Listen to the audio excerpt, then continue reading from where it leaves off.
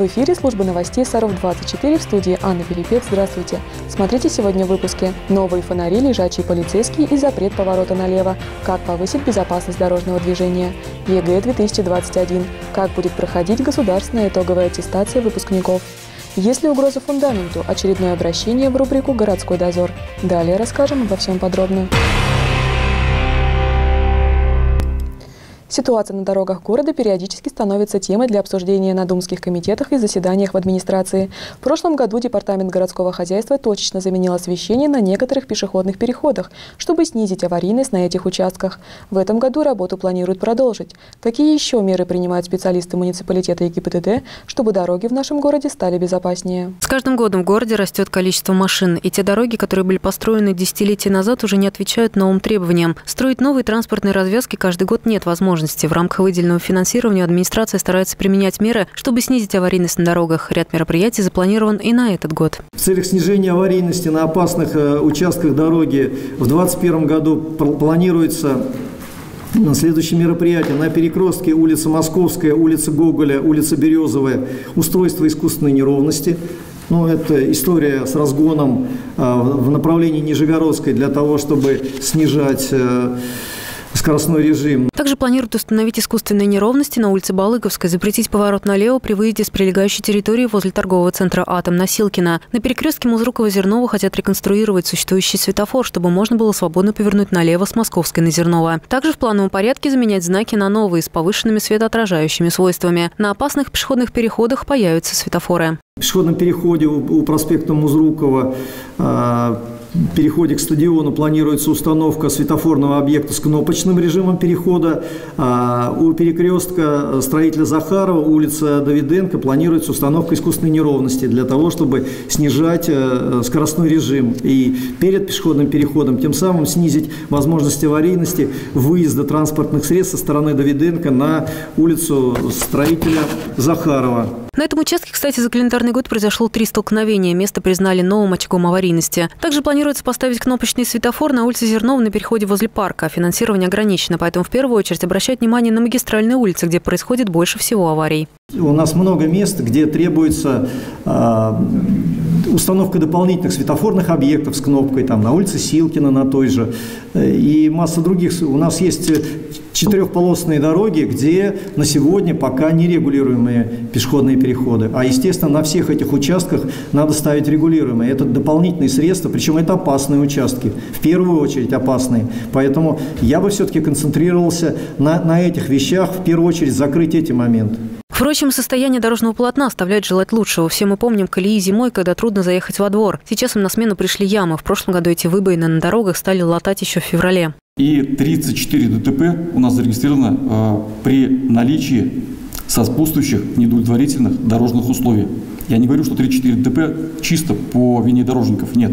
Но сопутствующие нарушения в содержании УДС были выявлены при осмотре места происшествия целом аварийность в Сарове ниже, чем в среднем по области. Ее оценивают по двум критериям. Первый – это социальный риск, количество погибших на 100 тысяч населения, и транспортный, количество ДТП на 100 тысяч зарегистрированных транспортных средств. Социальный риск в Сарове 4,2 погибших на 100 тысяч населения. В регионе это 12,6. Транспортный риск – единица для Сарова и 2,9 для Нижегородской области. Но у таких хороших показателей есть и обратная сторона. С 2015 года сотрудникам ГИБДД запрещено использовать скорости меры, чтобы фиксировать превышение.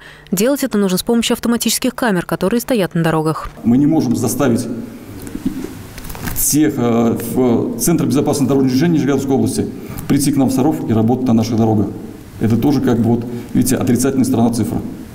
Как э, хочу добавить, что все средства автоматической фото- и видеофиксации, которые в настоящее время устанавливает э, Центр безопасности дорожного движения, э, устанавливаются по приоритету аварийности. И с учетом, конечно, конечно, наших цифр нам очень трудно тягаться с областью. Екатерина Опенова, Константин Островский, Сергей Рябов, служба новостей Саров 24. В этом году из-за пандемии выпускные экзамены в школах снова будут проходить необычно. ЕГЭ по математике базового уровня проводиться не будет, а выпускникам предстоит сдавать набор предметов в зависимости от того, поступают они в ВУЗ или нет. Об особенностях государственной итоговой аттестации в 2021 году мы поговорили с директором Департамента образования Натальей Володько. Школьникам, которые в этом году не планируют поступать в высшие учебные заведения, достаточно сдать два государственных выпускных экзамена по русскому и по математике. Причем сдавать их нужно будет в своей школе. Тем, кто планирует поступать в вузы, придется пройти процедуру ЕГЭ. И сдают они в обязательном порядке русский язык, и они должны обязательно набрать минимальное количество баллов для того, чтобы его сдать.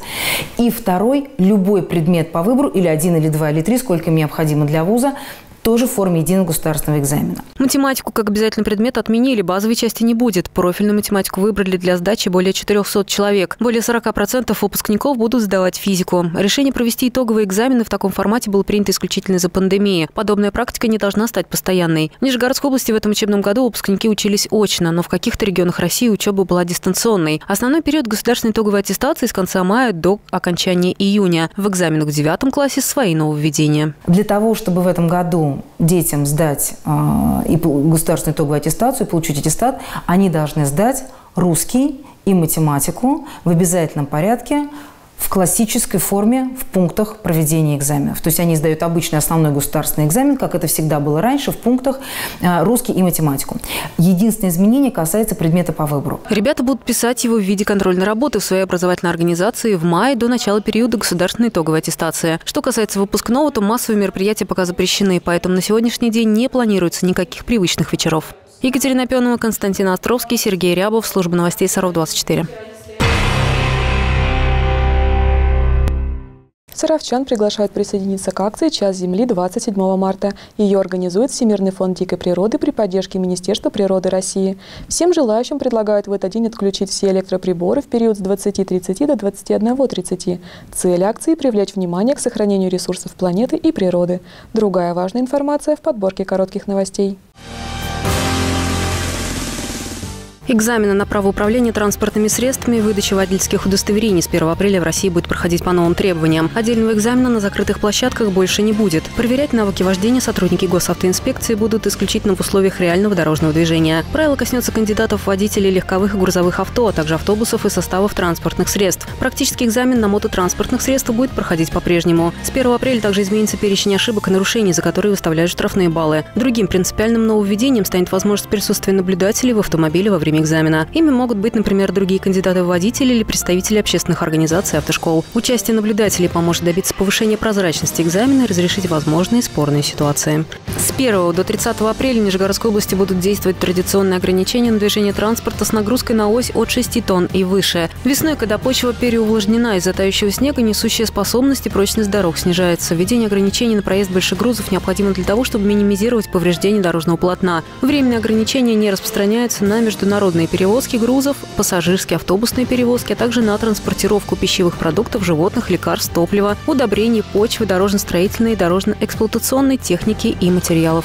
Социально ориентированные некоммерческие организации, ведущие деятельность в области развития командных видов спорта, могут получить субсидии из городского бюджета. Прием заявок пройдет с 1 по 7 апреля. Документы нужно предоставить в кабинет номер 234 здания городской администрации. Более подробную информацию можно получить по телефону 99040. Почтили память военнослужащих, погибших при исполнении служебного долга. Мероприятие состоялось в преддверии 210-летия со дня образования войск правопорядка и пятилетия Росгвардии. У Вечного огня собрались ветераны Великой Отечественной войны и внутренних войск. Они почтили память однополчан минутой молчания и возложили цветы к мемориалу. Оркестр, парадный расчет, руководители города, Саровской дивизии и ветераны внутренних войск. В такой, можно сказать, камерной обстановке у Вечного огня почтили память военнослужащих, погибших при защите своего Отечества выражая глубочайшую признательность и благодарность всем, кто прошел путь войны до конца и вернулся из адского труда живым и здоровым. Но, к сожалению, это удалось не всем. За 210-летнюю историю военнослужащие войск правопорядка стойко охраняли важные государственные объекты и защищали суверенитет государства. Офицеры, прапорщики, солдаты Саровской дивизии также участвовали в войнах. Составе нашего соединения многие военнослужащие принимали, участвовали в боевых действиях по поддержанию конституционного порядка в Советском Союзе и в России. И отдельные товарищи, капитан Шатилов, рядовой Мамутин, рядовой Гордеев погибли при исполнении воинского долга. Поэтому мы должны об этом постоянно помнить и напоминать нашим военнослужащим всех категорий. Ветераны внутренних войск отметили, что это мероприятие знаковое и должно стать традиционным. Именно о тех, кто отдал жизни за независимость государства, нужно знать и помнить. Событие сегодняшнее, она волнует нас. Тем более с ними служил и я. Евгений Шатилов тот же. Мы вместе служили. Память погибших почтили минутой молчания и возложили к мемориалу цветы. Елена Крицкова, Евгений Шевцова, Александр Мальков. Служба новостей Саров 24. Жительница дома на Московской 21 обратилась в нашу рубрику «Городской дозор». Саровченко пожаловалась на то, что из-за неправильно установленного слива в арке между ее домом и соседним есть угроза подтопления фундамента. По словам женщины, она уже обошла все инстанции и нигде помочь ей не смогли. В ситуации разбиралась наша съемочная группа. Неправильно установленный слив в арке между вторым и третьим подъездами. С такой проблемой в городской дозор обратилась жительница дома по адресу Московская, 21. Елена Макарова считает, что из-за нового слива талая дождевая вода подмывает фундамент дома дома. В том году я тоже куда-то пожаловалась, что сливу здесь сделали слив такой, что он, он течет прямо под наш дом. Это, это разрушает. Строили дом, дома частные, а получается, что мы под свои дома льем воду, чтобы они быстрее разрушились. Никто не хочет принимать никаких э, мер. Представитель МУП Центр ЖКХ утверждает, что за 2020 и 2021 год в адрес управляющей компании обращений и жалоб по этому вопросу не поступало. Перед интервью арку осмотрели. Наледь, которая там образовалась, появилась по естественным причинам, пояснил Константин Зайцев. Но эта наледь, она присутствует ведь из-за чего в данный момент времени? Снег задувает, и при положительных температурах э, он э, подтаивает, а так как там в арках тень, солнечного света нет, он достаточно быстро и растекаясь, и замерзает. Когда снег сойдет, функциональность слива и фундамент дома проверят снова. На период осеннего осмотра разрушение отмостка сотрудники управляющей компании не зафиксировали. Отмостка – это, скажем, один из проектных вариантов отвода э, дождевых вод, которые косые дожди по стене стекают, от фундамента – не зафиксировано. Есть отдельные трещины, но это опять из-за разности расширения материалов. Это место примыкания отмостки горизонтальной к вертикальной стене. Поскольку эта придомовая территория относится к управляющей компании, снег на ней расчищают регулярно, но посыпать лед оперативно удается не всегда, рассказал Константин Зайцев. Анна Пелепец, Евгения Шевцова, Сергей Рябов, служба новостей Саров 24. Традиционно в дни весенних каникул в библиотеке имени Пушкина проводят неделю детской книги. Для своих читателей Пушкинка подготовила ежедневные интерактивные программы, игры, квесты, мастер-классы. Открыла неделю детской книги встреча, посвященная творчеству Александра Волкова, создателя «Волшебника изумрудного города». Каждый ребенок в нашей стране знает, кто такие Элли, Страшила и Железный дровосек, и какое самое заветное желание было у льва. В этом году отмечается 130 лет со дня рождения автора цикла книг «Волшебник изумрудного города» Александра Милентьевича Волкова. И первую встречу в рамках недели детской книги в Пушкинке открыли интерактивные программы, посвященные его героям. Ребята вместе с главной героиней девочкой Элли отправляются в путешествие в изумрудный город навестить Страшилу, мудрого его правителя. Они встречают добрую волшебницу Велину, злую колдунью Бастинду, проходят множество опасных испытаний, проверяют свои знания и делают какие-то интересные для себя открытия. Это первая большая встреча в очном формате. Весь год из-за коронавирусных ограничений библиотекари устраивали для своих читателей мероприятия в онлайне или собирали небольшие группы на мастер-классы. И вот, наконец, в Пушкинке настоящие каникулы, пусть и в масках. Понравилась вообще встреча, потому что уже больше полгода не было никаких э, встреч. Был карантин, дистанционка и вообще просто э, ну, посмотреть на мероприятие было большим праздником для меня. Впереди у читателей Пушкинки литературные турниры, театральные экспромты, знакомства с новыми книгами и концерты. Мероприятие также проходит и в структурных подразделениях библиотеки. Подробная программа на сайте pushkinka-саров.ру. Екатерина Пенова, Евгения Шевцова, Александр Мальков, служба новостей Саров 24. И это все, о чем успели рассказать сегодня. Следите за новостями города в группах канала 16, в социальных сетях ВКонтакте, Фейсбук и Одноклассники. Подписывайтесь на наш канал в YouTube и смотрите все информационные выпуски и авторские программы в удобное для вас время. В студии работала Анна Пилипец. Всего вам доброго и хороших вам новостей.